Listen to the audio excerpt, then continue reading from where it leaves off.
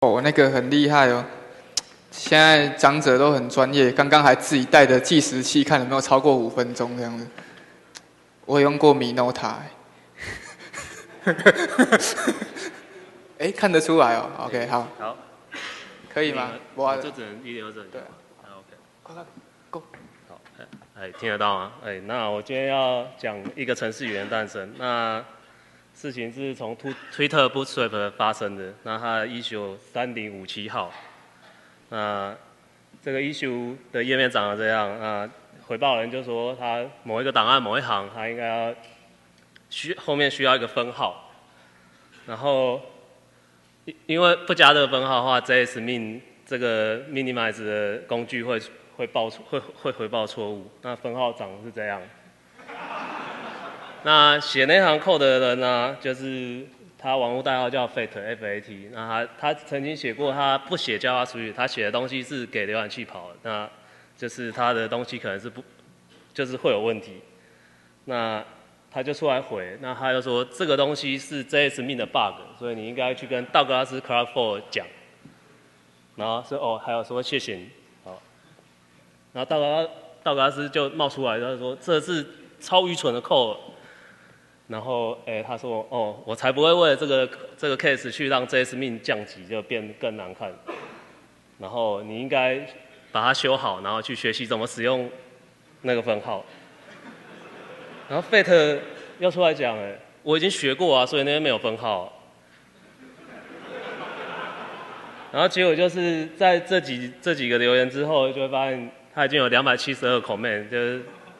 非常可怕，然后在网络上就开始有一些大大开始为了这个分号写一篇一些长篇大论，像像这几个都很有名的波格，然后有一些艺术创作，然后大家可能都知道道格拉斯·克拉夫就是本来是 YUI 的 leader，然后他后来离开雅虎，然后去 eBay，那在他离开 YUI 那天，YUI 人送了他这个给他。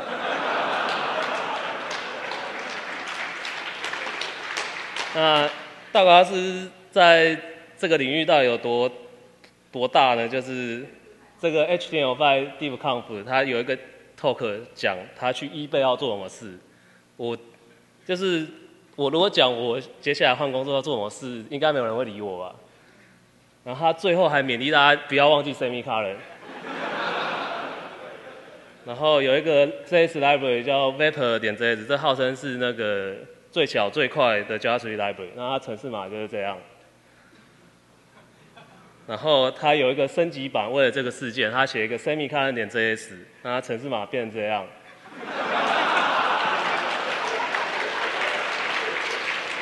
然后我看到这个 library，因为我一直在写 Coffee，我最近都在写 Coffee，然后看到这个这么棒的 library，我就把它改成 CoffeeScript，所以它就有一个专案，那它程式码就变成这样。